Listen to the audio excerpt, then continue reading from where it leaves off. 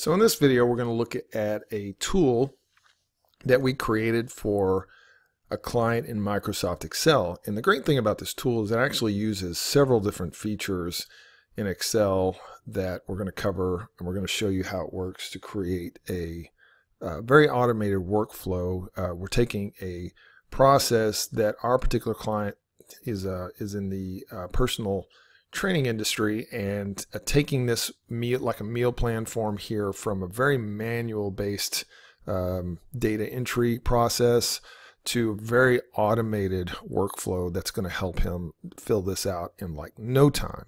And then there's actually three forms in this. So there's this meal plan and it has all these elements down through different uh, numbers of meals, post-workout meal, uh, you can add in supplements here and then have the totals. And these are all calculations here. So it's going to be actual total grams of carbs, fat, protein, and then the total calories. But it's also going to be calories by uh, each macro. And that's a calculation in a um, formula in these cells. And then also the percent of total calories, another formula. So there's a lot of formulas in this tool. There's there are drop downs. We'll get into this in a little bit. There's drop down uh, data validation list. So this has particular like food group categories and then a dependent drop down in these uh, in this column here that's uh, basically dependent on your selection in this particular uh, column, which you can see here. We've um, narrowed that down to eggs.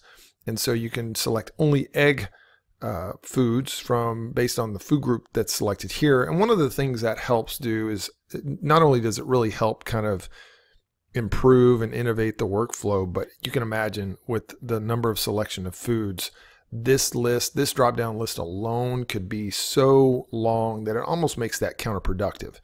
And so not only is it about the automation of kind of eliminating the actual manual typing and manual data entry here, these can actually be controlled so they're linked to lookups in another table. So it kind of remedies against like typos or any other any other kind of just manual data entry errors or omissions that might cause problems here. And you know they won't have to fill in their own values here. This is actually the only manual part of this is this the quantity so if we put a quantity one these start to fill in automatically because of formulas and then it updates this total here but anyway, uh, that's just that part of it. There's also some VBA involved in the background that's going to allow the, the client to export this form as a PDF. And so not only does it allow them to save it as a PDF that we've predefined, like the file naming convention to, it will pass the name of the client into that file name dynamically. So there's a variable that gets set to this particular cell value. So you don't have to type out the, the file name, all this stuff has been automated. And then beyond that, we even have allowed our client to attach that PDF to an Outlook email and send that out right away if he would like to. So we'll show you that. Uh, also, there's some elements here, some navigation elements. Even though there's tabs here, you can actually go to other elements or other worksheets in this workbook. And so we have this uh, client letter that goes out and it's been pre-formatted. And then we've got all this information that gets pre-populated from these values being passed directly to it. So it allows the the personal trainer not to have to redo the same process multiple times. And of course, you can see here some values in this table. These are totals that come from the input form and uh, go into this table. And this is one of the elements that our client wanted to have in this introduction letter to go out. So once he's done filling out the new, the uh, input form or this you know this nutrition form, uh, this would be populated, and he can send that out sort of as a high level uh, look for his client to say, here's what here's what your macronutrient breakdown, your calorie breakdown is going to be per meal per day, and then you have the totals here. Then the one last uh, item in this workbook that the client, our client, um, requested was this uh, worksheet here, I guess, if you will. And again, we've got client name, weight, height, all these values that actually come from the input form. And so that gets passed directly. Again, it allows our client to continue on with this form without repeating the same steps over and over again. And so there's all of these little tables here that have uh, formulas that get calculated based on these values and a couple of other things here. So we have some conditional formatting that points out to the user, hey, you need to fill these in. The gray fields themselves get automatically filled.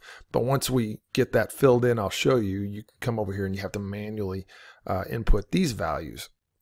And then you also have to manually input what's the caloric goal and then what's the breakdown in percentage, uh, fats, carbs, and protein. And then when this becomes 100%, that changes over uh, with a white background rather than having that sort of uh, warning with the pink uh, background telling telling the user, hey, you need to get this to 100%.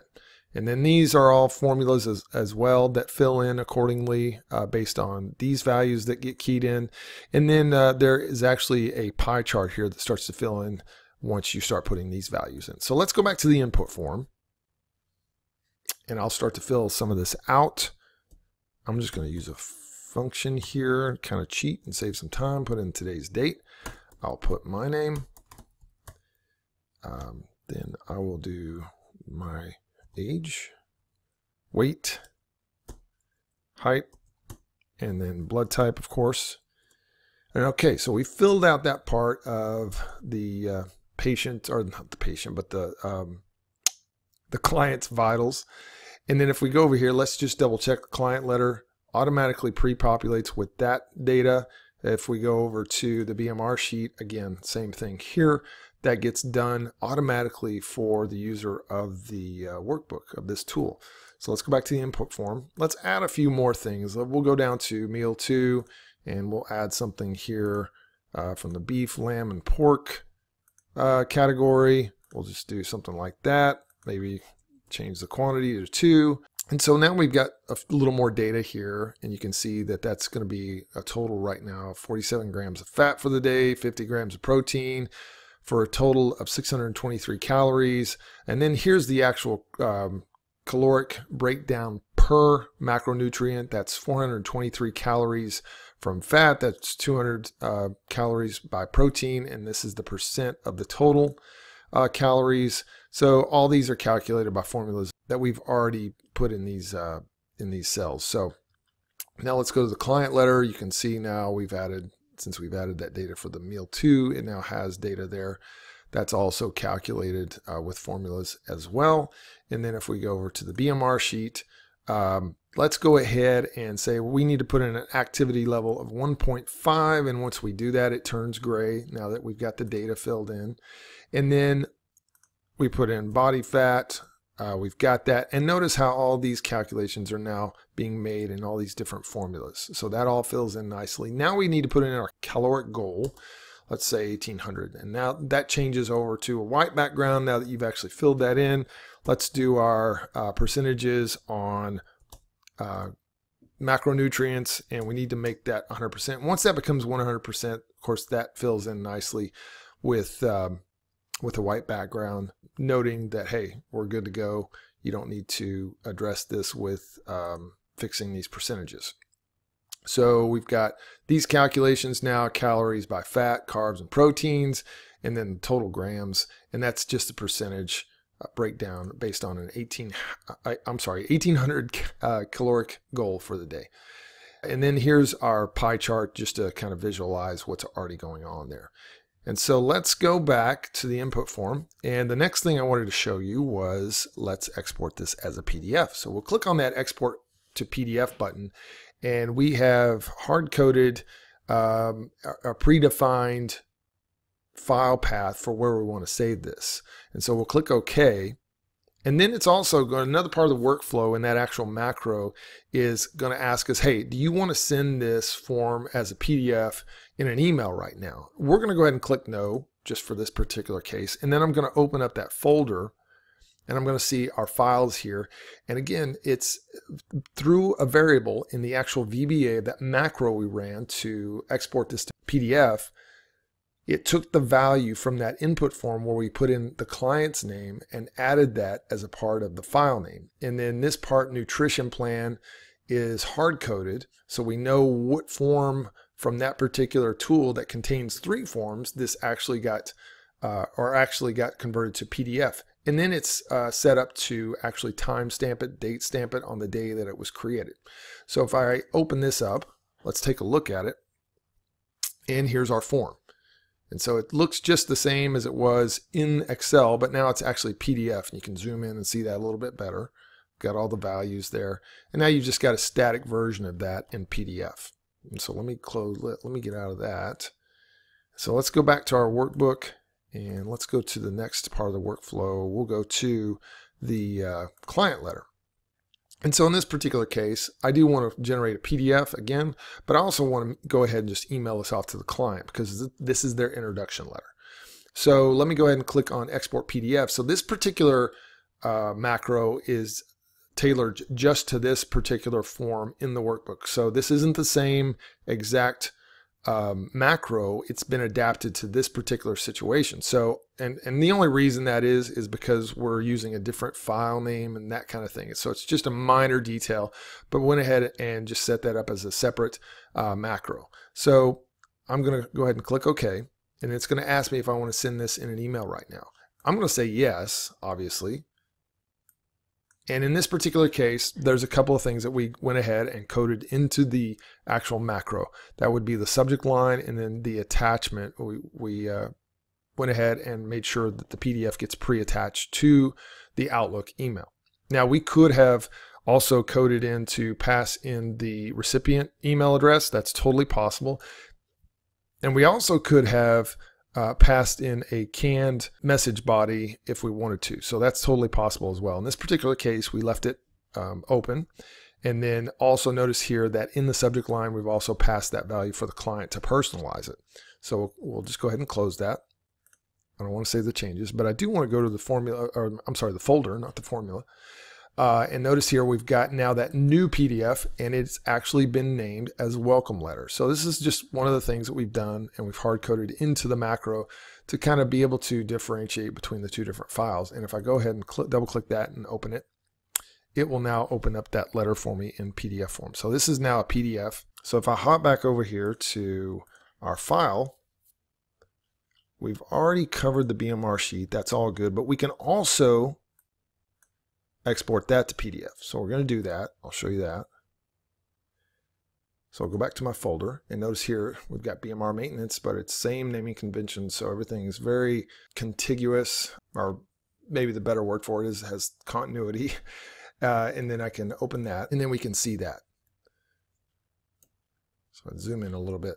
So everything's in PDF form there. So same difference. And then uh, if we go back to the file, one last detail I wanted to show you was to be able to reuse this. We'll go back to the input form and then there's this clear form button that clears everything out and makes this available for use for the next client. So we'll clear the form, we'll click on that button, takes a few seconds there, it clears everything from this sheet, clears everything from our tables here for the meals, clears our totals, obviously, and then if you go over to the uh, client letter, everything's been cleared from here everything's back at zero.